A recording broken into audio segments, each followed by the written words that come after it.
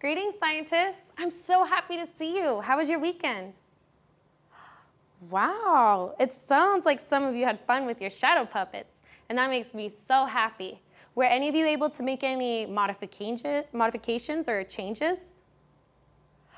Oh, I bet your shadow puppet box is even better than before. You know, I was actually tinkering with my shadow box all weekend. Huh? Oh, my bad. Tinkering means playing around or fixing something. And I was trying to fix my shadow puppet box because I wanted to add more features to it. And I think it ended up looking really cool. Do you want to see what I put together? Great, let's check it out. So here you can see from the front, and you not, can't see a lot. So let me turn it around so you can see all the features.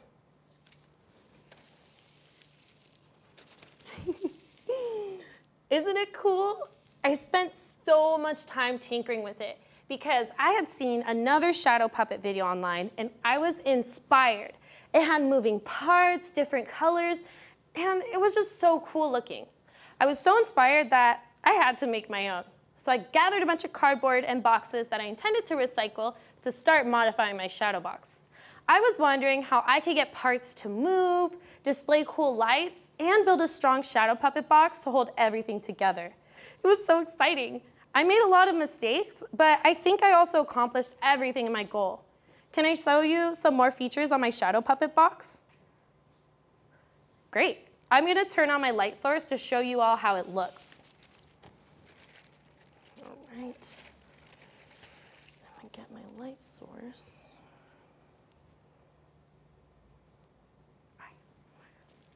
Okay, ready? Did you see the rocket ship move?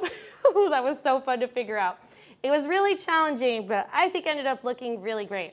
Check out what I did over here with the lights. So here's a white light. Here's a blue light. Do you see how they look different? I know I said it, but what color did you see? That's right, the light is now blue. And that was a really big challenge, but I learned so much from it. And this was one of the most fun and, what was that? You want me to show you how I did these things? it's actually funny you mention that because I was thinking of showing you these things. How exciting, scientists. We had the same idea. We could definitely do this.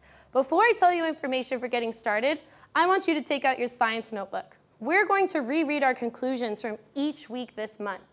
And we're doing this because everything that we've learned this month as engineers will help us with this project. So let's all take a moment to take out our notebooks and reread the conclusions. I have mine up so we can read them together if you'd like. Turn off my light. Do you have your notebooks? Great. Like I said, you can reread your conclusion or you can listen to me read mine. Let's get started. So our first week, we asked, how can I make an object move? And we figured out that we can move objects using force, pushing or pulling them. The second week, I asked, how can I make shadow puppets? And we concluded, you need a light source and a surface. Then cut out the details in your puppets so the light can change the shadow. And then we asked, what can I use to make my shadow puppets better?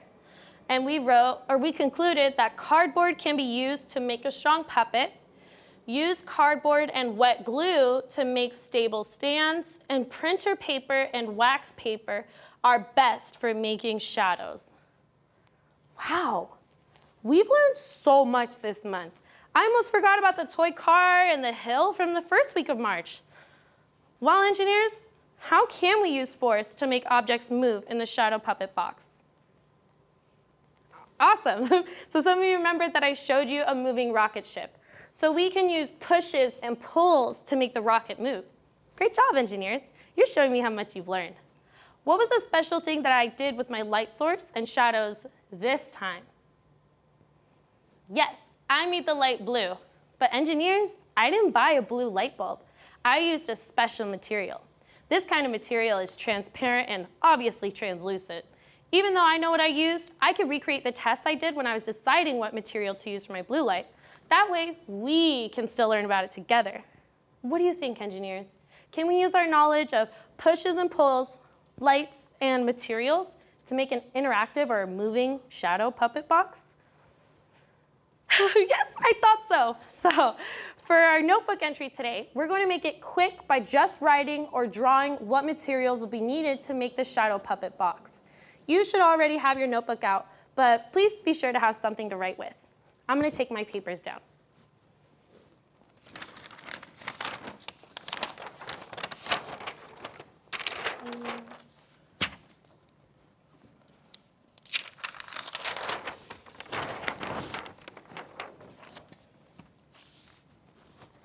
All right, so let's write the date, March 22nd, the page number, and our title, Shadow Puppet Box Materials. So March 22nd, 2021, and my last page was 29, and this is 30.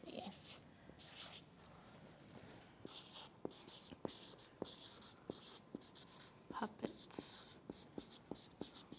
box. B, b, ox.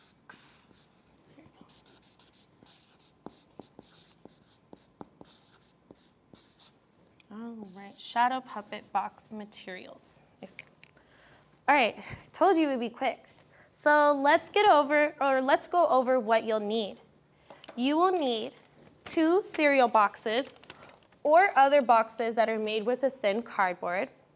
You will also need a flattened paper towel roll. I would recommend that you get this one tonight. We're going to use it tomorrow. You're gonna have to cut a slit down the middle, fold the edges flat, and put under something heavy, but we'll talk about that later. You will also need glue, tape, some string, oh, I forgot to draw that, puppets, a toy car like I have here, or a different one,